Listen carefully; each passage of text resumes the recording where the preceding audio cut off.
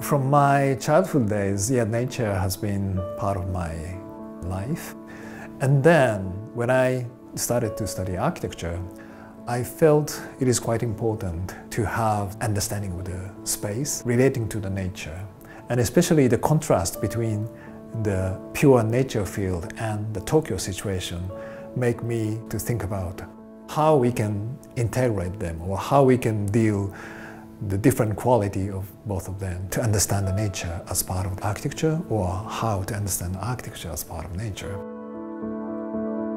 The title of the, the exhibition is Futures of the Future. This name is quite special for me.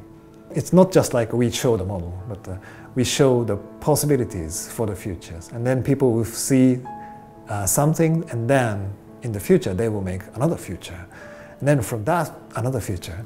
So that was the inspirations of that titles of the futures of the future.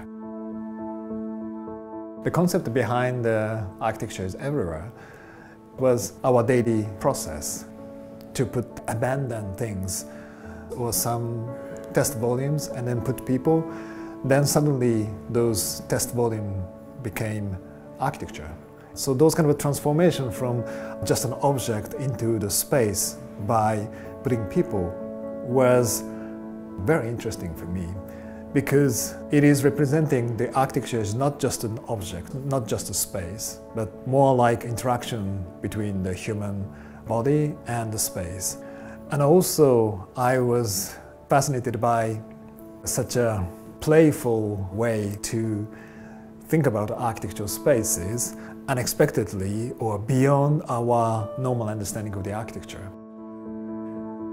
The reason I put uh, such a small text on the models, if you read the text, it's not just an explanation, it's not just a title. It is saying something mysterious in a sense. Then suddenly this object, this model, could have the different meanings or different dimensions.